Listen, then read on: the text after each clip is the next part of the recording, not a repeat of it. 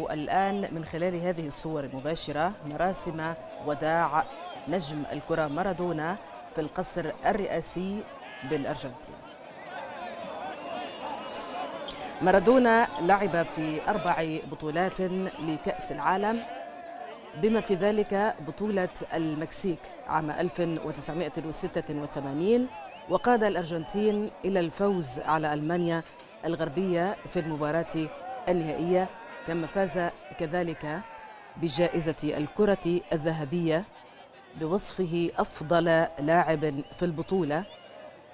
وسجل مارادونا والذي عرف في عالم كرة القدم بالأسطورة في ربع النهائي سجل هدفين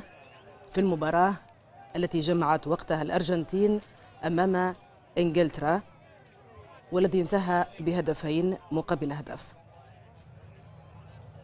في عام 1991 تم توقيف مارادونا 15 شهرا بسبب ثبوته بتعاطي الكوكايين في إيطاليا ومع انتهاء مسيرته الكروية عاد مرة أخرى